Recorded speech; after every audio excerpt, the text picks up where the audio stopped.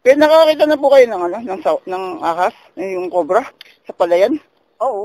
Ano pong ginagawa niya? Oh, wala, pinapayaan ko lang.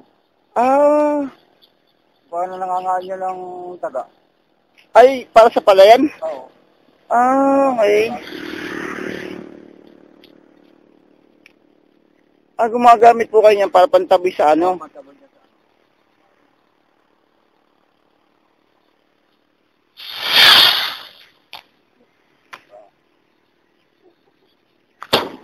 Ah, Ah! Ganun pala yun. Mauubos ang mga ano, no? Ubus ang palay, pagka hindi tatakotin ng maya. Ah,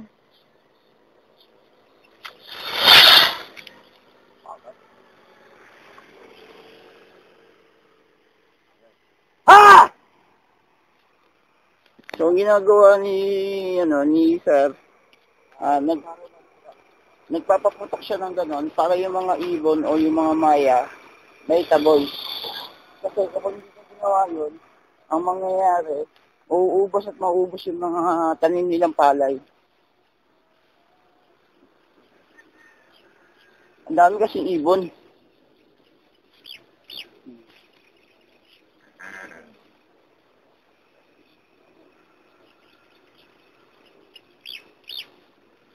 Ginagawa ni Sir.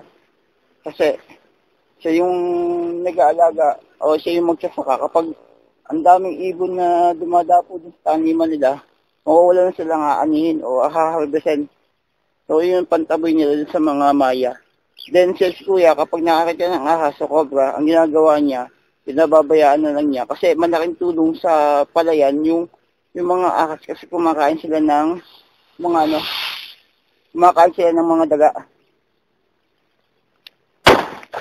Ah! Woo! Ah! yung iba naman na magsasaka kapag nakakita ng ahas o cobra, ginagawa nilang pulutan.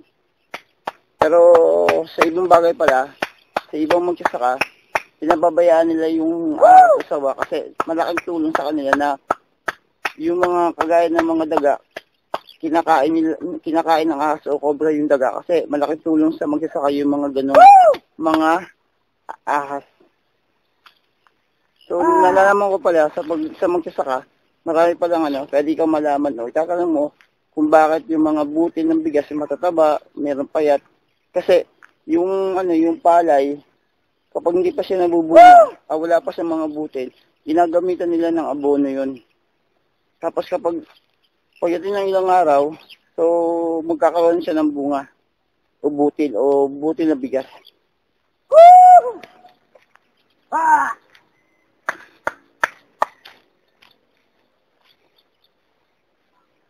Kailangan pala marami kang ano, yung mga bandera, ano po? Oo. Eh nyo, lilipat ko pa nga yan dito. Ah, yung mga plastic-plastic Oo, na yan. Yun dyan. Ay, Tapos, gagawin niyo po yung kalansing. Oo, meron yan.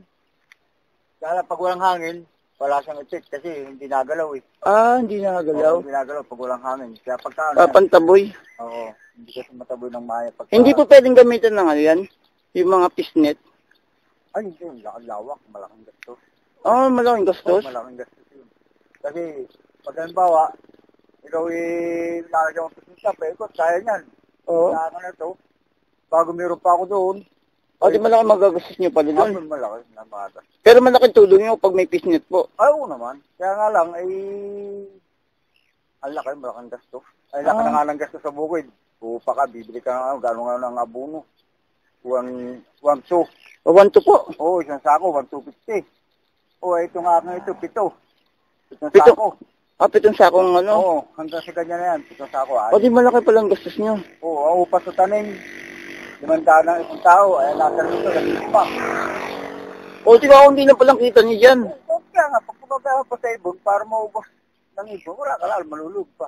Ah, Malaking gasto sa magbukid. ang nakita ko po kasi sa kanila, meron silang lubid na ganun, tapos meron isang bahay na maliit, tapos ginaganon ng ni Oo, Pogi yun. ay, ano, yun ay dun sa ilan lang ang palay ng Ah, ilan lang. Ah, in-interview ko po kasi kayo.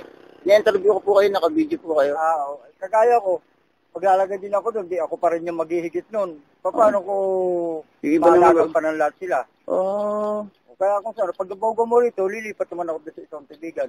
Y- yung pong ano, nakita kong bigas sa SM, yung kulay ano po ba? Yung kulay, Ah, yung black. Meron yung brown black po ba? Yung brown? Oo, yun. Meron din. Ang mahal pala nun. Oo, mahal talaga yun. Oo, yung brown. Ang pila, mas mahal pa yung ano yung brown kaysa dun sa ano, sa Yung- puti. Oo, mahal talaga yun. Kasi yun yung bagong labas dito na pala, hindi lang sa amin mag-fish kasi mahina masyadong paganihan. Ah. Pero, ma- mahal nga siya, akala lugi naman.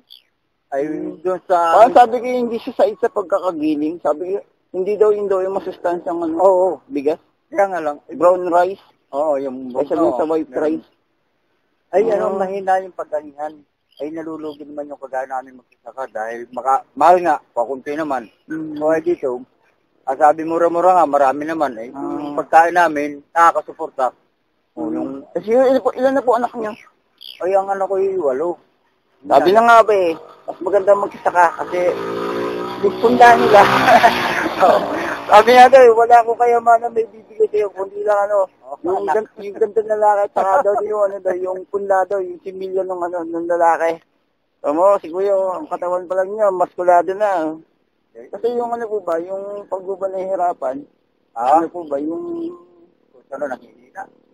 Kasi yung kalala ko pong ano, paniganto ko lang po, yung kalala ko na taga Padre Burgos, di yung, yung anak niya panganay, nag-asawa ng may kaya po ba, supervisor sa pabrika. Tapos yung tatay nila, magsasaka. Hindi nila sa Cavite. Eh, hindi, siya na iba sa trabaho. Nung hindi siya nagtatrabaho, lalo nang hina. Ah, manghihina. Totoo yun. Kasi dito sa bukid, kaya niyan, kaya ko. Saka, pagkakain ko dito ako sa bukid. Nag-aakit pag-uula ko ng aking mga hayop, ng aking mga baka. Pag iikit ko niyan, uwi ako. Siyempre, pagod na pagod ka, pawisan. Papahinga ka lang, kakain. Mas Tapos yung, yung kinakain niya po, yung sariwa na po. Abay, oh, yung dating, yung aming inani na palay. Kasi yung, nakita ko kasi yung ano, yung bagong, yung ampalaya, kapag po pala siya may, may abono, alam mo na yung itsura, kasi diretso siya. Oo. Pero pag walang abono, baluktot, Oo, totoo. yung pala yun. O, Kaya, kaya, yan, oh. kaya yung mga ano, rito, kukuha ko doon ng sitaw din sa kumpare ko. mm, Eh, eh, eh, na may upin ako dyan. May usapan na kami. Pagka para magugulit ka, kumuha ka lang. O, pagdating ko yan, sa, luluto, Oo, luluto. Di ka, sariwa-sariwa yan. Oo. Kasi, yung yun mga ano po, yung pong mga pagkain po ngayon, pag may mga chemical, pag lagi mo kinakain, hindi pala yung ano yung pag nagiging ano siya, nagiging lason talaga. Marami Oo, na marami- po. Marami, na mamatay makukuha sa kami amin. na. Pero yung ano naman, yung chemical na abono naman sa ano, na galing sa mga palay, hindi masyado siyang ano. hindi. Ano siya, yung bagang, base nun sa na-interview ko, hindi siya uh, komenda ng agriculture kung yun ay makakamatay. Oo. Malaki siyang, malaki siyang tulong sa magsasaka kasi lalo siyang mag, ano, magbubunga. Eh, kuya, salamat po. Sige, Salamat po. oh, sige, sige, salamat. Bye-bye. Ang bait ni Kuya, nagpa-interview. Kasi nakikita ko na, ano, na malaking tulong yung ginagawa niya. Kasi nagbibigay siya ng mga impormasyon, kagaya ko na walang alam tungkol sa magsasaka ng palay. So maraming salamat sa kanya kasi nagbibigay siya ng karagdagang kaalaman tungkol sa akin. So hanggang dito na lang ang aking pagbablog uli. Then punta na ako sa aking patutunguhan at ako nag-jogging po sa aming paglalakad, nakaka-encounter ako ng mga taong dapat kong kausapin upang ako ay matuto. Hanggang dito na lang po ang aking pagbablog and bye-bye for now. Bye!